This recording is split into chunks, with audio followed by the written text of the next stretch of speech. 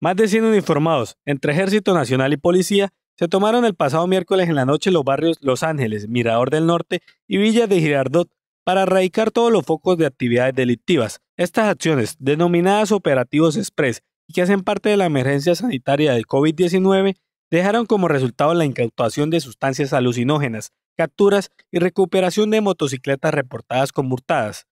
Podemos dar cuenta hoy de unos resultados operativos bastante importantes donde reportamos la captura de individuos por porte y comercialización de sustancias alucinógenas, bastantes sustancias bazuco incautado, 147 mil pesos en moneda de baja denominación, la recuperación también de unas motocicletas que días anteriores habían sido hurtadas dentro del área metropolitana y reportamos 42 órdenes de comparendo realizados a personas porque estaban violando las disposiciones sanitarias de emergencia del COVID-19. Van 10 los operativos express realizados por las autoridades en el área metropolitana de Bucaramanga. Se espera que las denuncias ciudadanas a la línea 123 permitan seguir con estas acciones para combatir en conjunto a la delincuencia.